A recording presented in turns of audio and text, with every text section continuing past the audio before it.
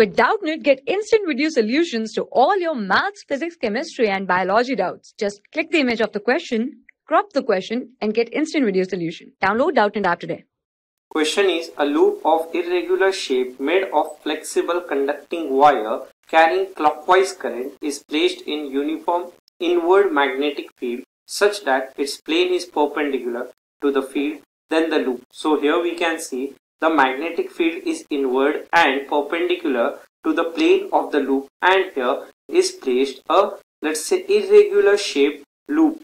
So suppose this is our irregular shape loop placed in this let's say magnetic field region where magnetic field is uniform constant. So we can see here current is flowing suppose in clockwise direction as per the question. So as we know when a current carrying wire is placed in a uniform magnetic field region, the magnetic force acting on it is given as I into L cross B vector. This here is our L vector and here by L cross B vector we can see here the force will be perpendicular to L vector as well as vector. Hence the force will be perpendicular to this let's say here. So here it will be lying in the plane of let's say the loop. Now similar way we can see here this force on here this section of the wire will also be perpendicular to the plane of the loop.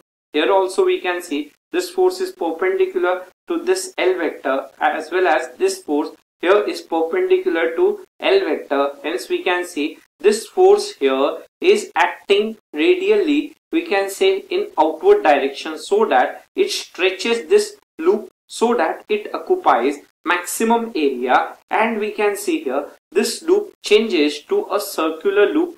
Now as we know circular loop has the maximum area. As this let's say here force stretches this loop and here forms a perfect circular loop. So we can see here first option that is it experiences force. Is correct? Next here it develops induced let's say current for a short time and changes to a circular loop. As we can see here, this force acting radially outwards here changes this loop to a circular shape and we can say here since initially this let's say area had magnetic flux given here as B into A into cos of theta.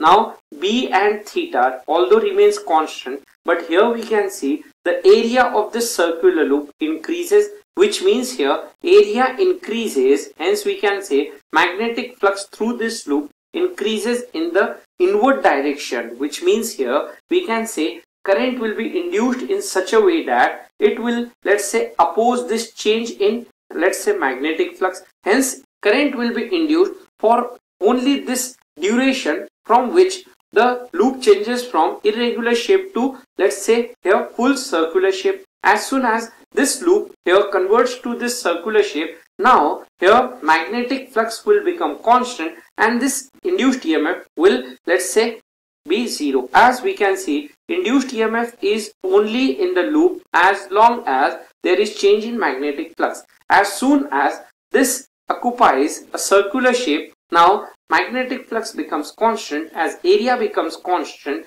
In that case we can say induced EMF in the loop will become zero. Hence we can say develops induced current for a short time. Here there will be an induced current in the loop for a short time. Only when it changes from irregular shape to let's say circular shape. After that here since flux becomes constant the induced current and induced let's say EMF will be 0. So option number 2 is also correct. Hence we can say amongst the 4 option we have here option number 4 that is all of these as the correct answer. So option 4 is our answer. For class 6 to 12, IIT JEE and NEET level. Trusted by more than 5 crore students. Download Doubtnut app today.